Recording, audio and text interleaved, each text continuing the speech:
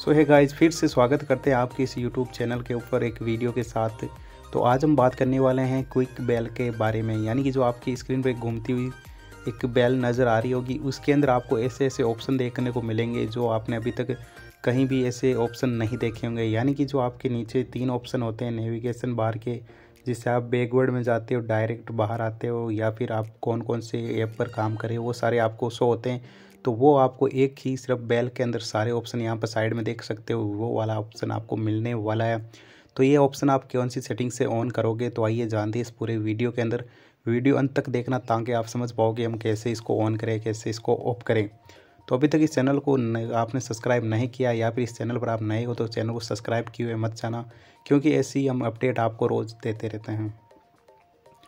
तो यहाँ पर नोटिफिकेशन बार और कंट्रोल सेंटर के अंदर आपने पहले बात की थी कि अब नोटिफिकेशन बार और कंट्रोल सेंटर का जो काम होता है, वो सिंपली आपके जो स्क्रीन के स्कोरल बार यानी जहाँ आपके मैसेज होते हैं, वहाँ का ये काम होता है। तो आज की वीडियो में बात कर रहे हैं जो सिंपली आपको जाना है एडिशनल सेटिंग्स के अंदर यहाँ। तो जैसे आप एडिशनल सेटिंग के अंदर इंटर होते हो तो आपके सामने आता है क्विक बेल जो यहाँ पर देख सकते हो। पाँच नंबर पर आपको शो हो रहा होगा क्विक बेल मैंने यहाँ पर टैप किया है।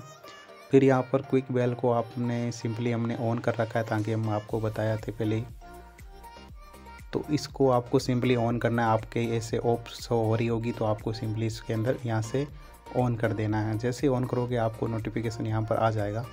तो मैं यहाँ पर इसको ऑन करता हूँ तो यहाँ पर आपके एक ऑप्शन दिखाई दे रहा है बेल की तरफ़। यहाँ देख सकते हो टैप की तरफ़। तो इसको आपको सिंपली यहाँ पर टैप करते आपके ये सारे ऑप्शन ओपन हो जाएँगे तो आप देख सकते हो।